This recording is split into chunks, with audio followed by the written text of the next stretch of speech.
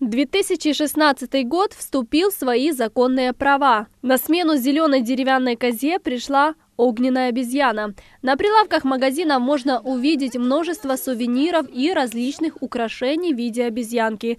Как известно, ее темперамент и эмоции сочетаются с хитростью и коварством. Рожденные в год обезьяны будут идти к поставленной цели любыми путями. Для символа 2016 года не существует морали, нет постоянства, смена настроения непроизвольна и может чередоваться грустью. Безудержанным весельем или злобой в течение нескольких минут.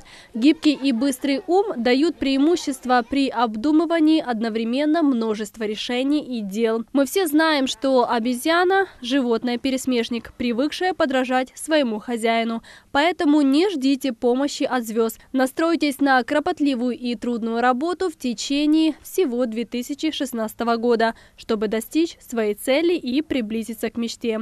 Не вникая в проблемы и неурядицы, обезьяна обезьяна идет по жизни легко и непринужденно.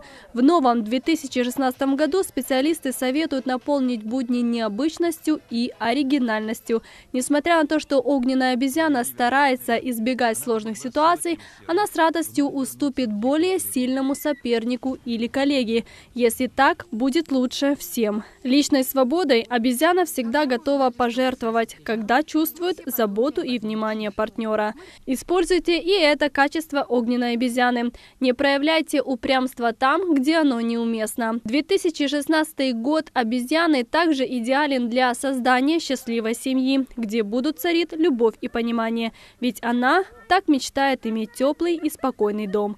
Символ года не рекомендует выбирать самостоятельный и сложный жизненный путь, требующий упорства в достижении цели, смелости, рассудительности и лидерских качеств. Год обещает наслаждение и путешествия, перемены и парадоксы, неожиданные события, невероятные приключения. Не повезет только ленивцам. Так что будьте готовы проявить все свои умения и желания, и этот год, год огненной обезьяны, вас щедро отблагодарит.